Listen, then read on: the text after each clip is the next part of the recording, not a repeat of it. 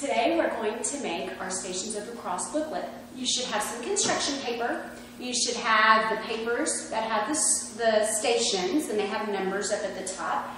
And you should have some binder clips. You should have three of them.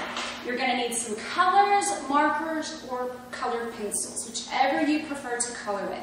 I have colors to color my papers with, and I have markers to write on the construction paper with. Your construction paper may look differently, it may have a different color, but um, it's just going to be the cover of your booklet, okay? So first thing you need to do is you need to take the colors and you need to color your um, pages. And you don't have to color them all at once because there's a lot of them, so you may just want to color one and then come back throughout the week and color them. And then when you're finished coloring, okay, so I'm coloring here, I'm going to put all my pages in order, starting with number one, and I'm going to count all the way up until I get to my last page, and I'm going to put it between my two pieces of construction paper, okay, just like this.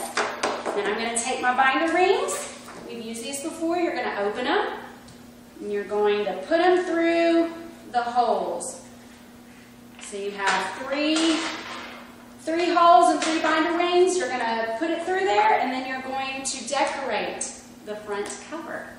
And I'm going to put the title on there, The Stations of the Cross.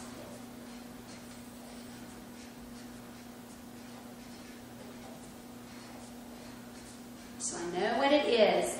And then you can use this to pray all during Lent.